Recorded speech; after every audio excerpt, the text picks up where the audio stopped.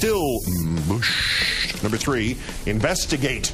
Senator Pat Leahy today announcing a hearing next Wednesday for his Senate Judiciary Committee titled Getting to the Truth Through a Nonpartisan Commission of Inquiry. It is, in his office's words, to explore ideas on how best to establish a commission to examine past national security policies. As Jonathan Turley keeps pointing out, there is one problem with the so called Truth and Reconciliation Commission idea. It usually ends up with everybody getting immunity and nobody getting prosecuted.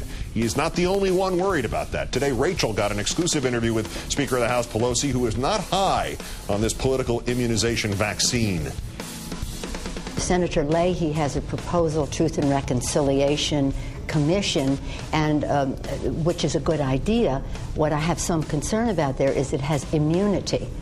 Mm-hmm. And I think that that some of the issues involved here, like the politic- politicizing of the Justice Department and the rest, may have uh, um, criminal ramifications, and I don't think we should be giving them immunity.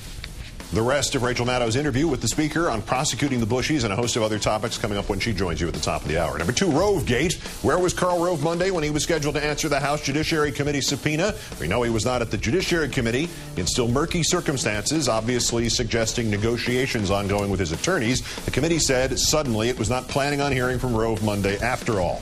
It could have sent a representative to Schaumburg, Illinois, where Mr. Rove instead testified to a Republican fundraiser. And number one, nursing home gate. This is a brand new one, a last minute Bush rule change that was not revealed until yesterday when Bloomberg News ferreted it out.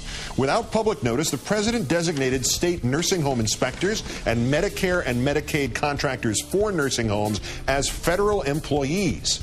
So, well, federal employees are usually not allowed to give evidence in private lawsuits. In other words, if your grandmother dies in a nursing home where the federal inspector has warned of deplorable, life threatening conditions in her room and you sue, the federal inspector can no longer testify and you have to jump through even more hoops now just to get his report.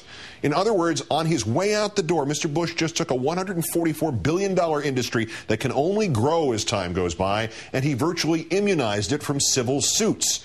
And for 36 days after the Bush presidency ended, nobody knew about it. Attorneys specializing in nursing home legislation were flat footed and dumbfounded by this news.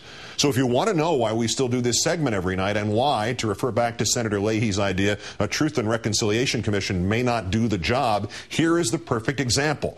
Out of office for more than a month, and George W. Bush is still damaging this nation. New ways. His is the unmarked landmine field of presidencies.